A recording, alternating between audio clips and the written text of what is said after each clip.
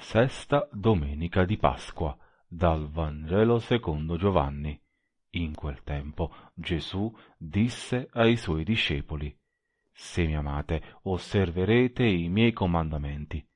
E io pregherò il Padre, ed egli vi darà un altro paraclito, perché rimanga con voi per sempre, lo Spirito della verità che il mondo non può ricevere perché non lo vede e non lo conosce voi lo conoscete, perché egli rimane presso di voi e sarà in voi.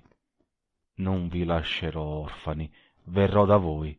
Ancora un poco e il mondo non mi vedrà più. Voi invece mi vedrete, perché io vivo e voi vivrete.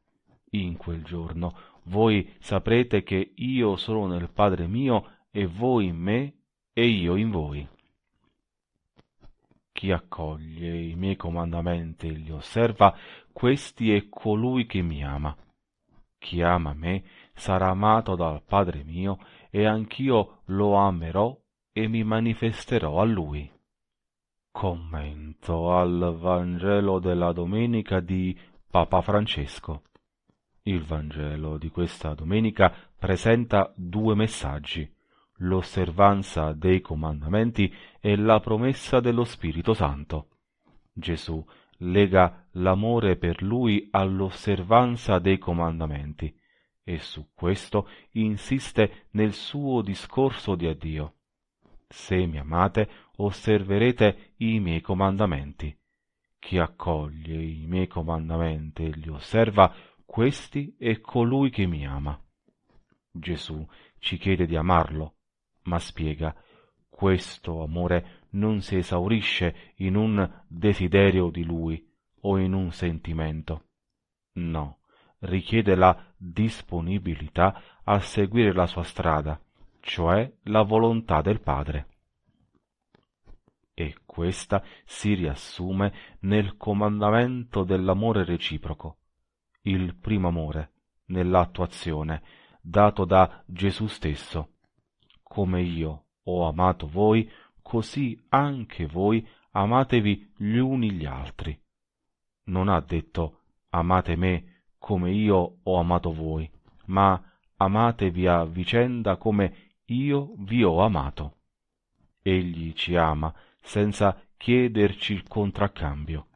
È un amore gratuito quello di Gesù che non ci chiede il contraccambio e vuole che questo suo amore gratuito diventi la forma concreta della vita tra di noi. Questa è la sua volontà. Per aiutare i discepoli a camminare su questa strada, Gesù promette che pregherà il Padre di inviare un altro paraclito, cioè un consolatore, un difensore che prenda il suo posto e dia loro l'intelligenza per ascoltare e il coraggio per osservare le sue parole. Questo è lo Spirito Santo, che è il dono dell'amore di Dio che discende nel cuore del cristiano. Dopo che Gesù è morto e risorto, il suo amore è donato a quanti credono in Lui e sono battezzati nel nome del Padre, e del Figlio e dello Spirito Santo lo Spirito stesso li guida, li illumina, li rafforza affinché ognuno possa camminare nella vita, anche attraverso avversità e difficoltà, nelle gioie e nei dolori, rimanendo nella strada di Gesù.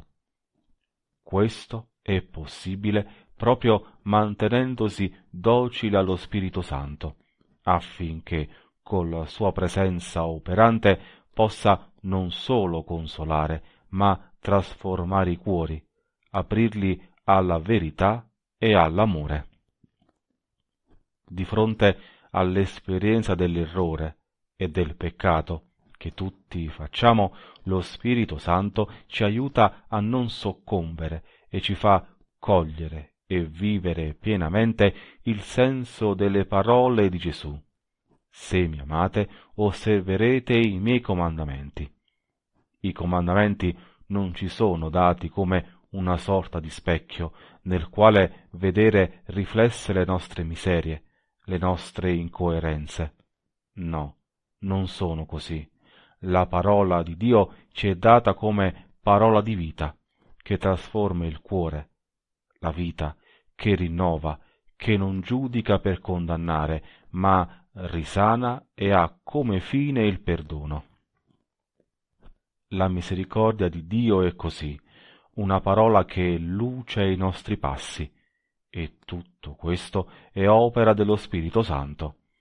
Egli è il dono di Dio, è Dio stesso, che ci aiuta ad essere persone libere, persone che vogliono e sanno amare, persone che hanno compreso che la vita è una missione per annunciare le meraviglie che il Signore compie in chi si fida di Lui.